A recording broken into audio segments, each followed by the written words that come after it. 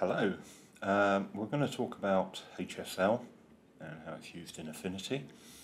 Um, so the first thing we're going to do is look at this car, it's a red car, uh, green background, grey, dark grey, edges and yellows um, in the curb there. And what we want to do is change the colour of the car. So what we can do is go to the adjustments, pick HSL. Now HSL is hue, saturation and luminosity. And what we can do on the whole photo is we can use this slider bar to change the colour. And you can see the car, uh, colour of the car is changing, but so is the background. It's been affecting the entire um, picture. Just go back to normal. Saturation. Now, you, hopefully you use this, but um, you can increase the saturation in a picture. Uh, you can also take it too far, but it's also great for taking all the saturation out of a photo. But again, it's affecting everything. So let's just double click on that to uh, set it back to the middle. And finally, you've got luminosity, which basically, if you bring it down, it will get darker until it goes black, or alternatively, it will go lighter up until the point is completely white. Let's bring that back down. Now that's great, but in this particular instance, I'm only interested in the car.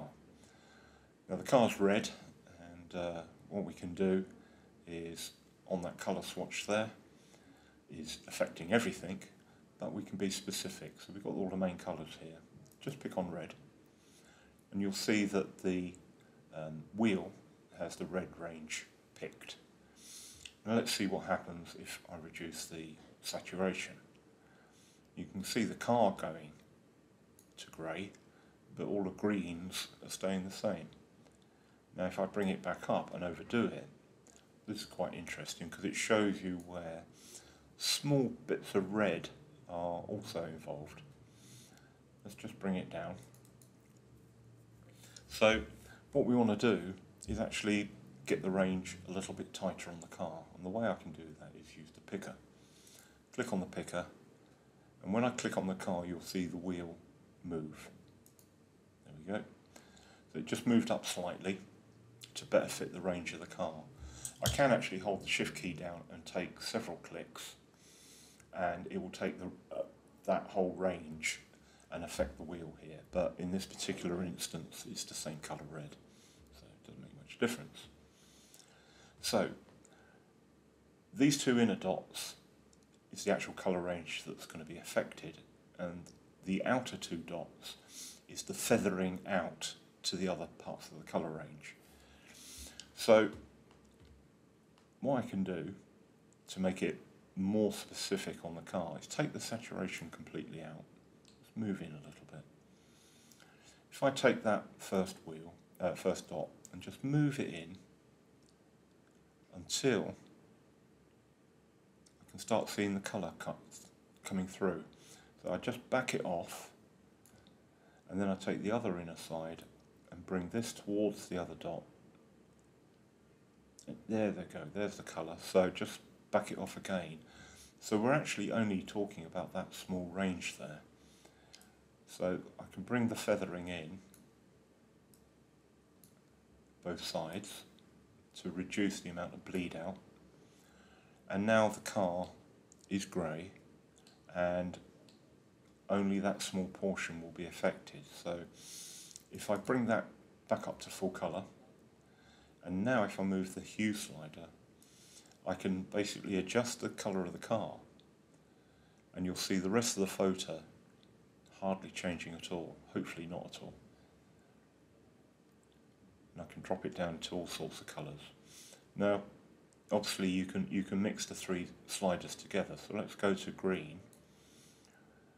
I can reduce the luminosity of the green, but probably more in this case to match the rest of the photo, I want to bring down the, the brightness bring down the luminosity so it's now more in fitting with the rest of the picture. So that's great. Um, if I just um, take that out. That's now set. Now if I click that on and off, you can see around this region here that it did actually change the colour a little bit. There were colours in this area here that match the car. That's probably the reflection of the car on this area here. This is a mask. So with all masks, I can pick up my paintbrush, I can pick up black, I can uh, come into this area and paint those changes out of the mask and just take those out. Oh, gone a little bit too far over the edge. Just bring that back in. There we go. Okay, so we saw some stuff up the garden path there. Now, basically, we've taken away the effect where it's been bleeding out slightly. And to be honest, a lot of people wouldn't have even noticed. Go back here, just take that in. Good. And the other thing we might want to do is um, the actual badge here is we don't want the green paint, green change affecting the badges. So I'll just bring that back. Just settle that back over there. And there we are. We have a green car.